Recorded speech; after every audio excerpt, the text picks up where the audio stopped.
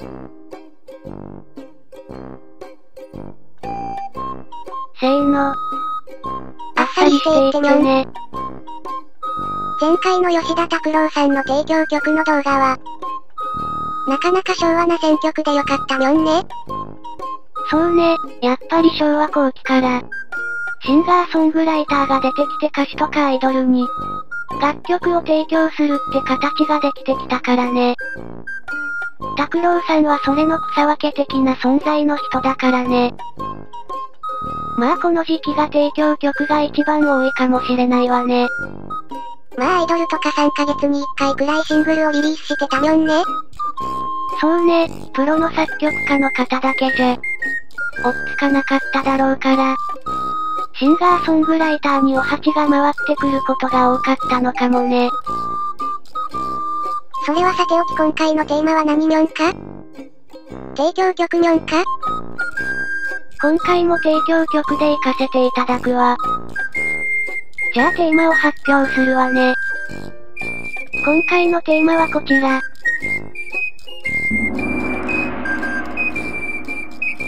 です。確かに尾崎亜美さんは有名な提供曲がいくつかあるみょんね。そうね、今回調べるまでは有名なのしか知らなかったけど。結構たくさん提供してるわね。なんていうか、すごくいい曲をケチらず提供してるってイメージね。言われてみればそんな気がするみょん。じゃあ提供曲に行きましょうか。まず1曲目は松本伊代さんに提供した。時に愛はです。さっき言っていた、まさしくアイドルへの提供曲みょんね。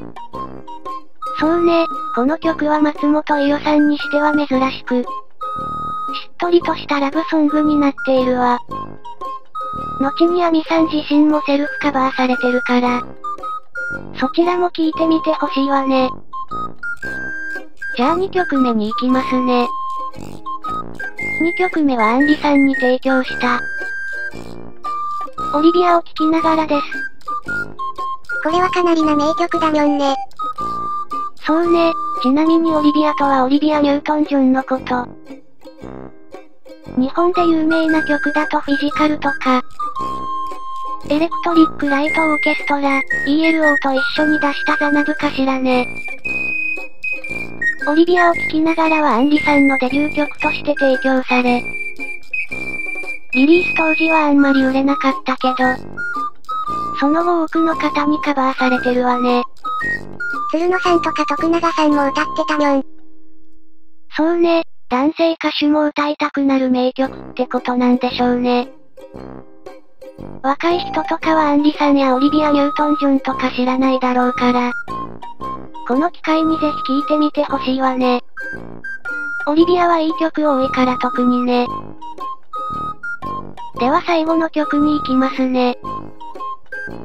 3曲目は南沙織さんに提供した。春の予感アイブビーンメローです。この曲はアミさんが初めて他の人に楽曲提供した曲で、東京音楽祭ゴールデンカナリー賞作詞賞を受賞しているわ。実は曲も前室のオリビア・ニュートン・ジョンと関係があって、そよ風の誘惑ハブユーネバービーンメロー？というオリビアの曲があるんだけど、この曲のサブタイトルの英語の部分の問いかけがあるんだけど、今まで肩の力を抜いたことないの？みたいな感じだと思うんだけど、春の予感のサブタイトルがその問いに対する答えになっているわ。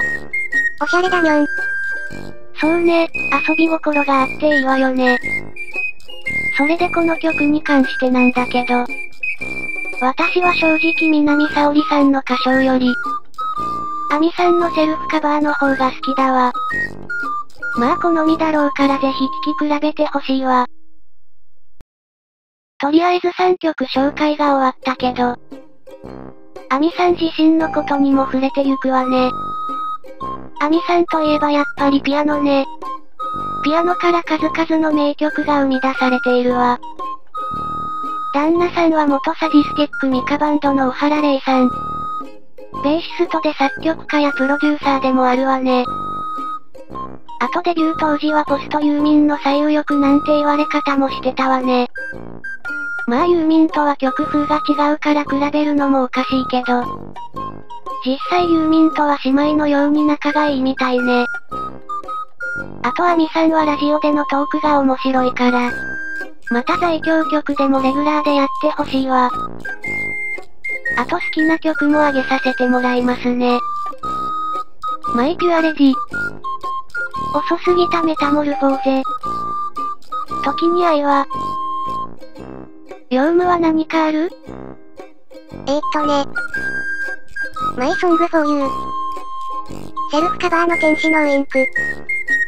あなたの空を飛びたい。そんな感じにょんね。なるほどね。アミさんは今回紹介した提供曲以外もいい曲があるので、拾いきれてないので、よかったらコメントお願いします。チャンネル登録と高評価もよかったらよろしくにょん。そうね、よかったらよろしくお願いいたします。というわけで今回は以上となります。それでは、また見てねー。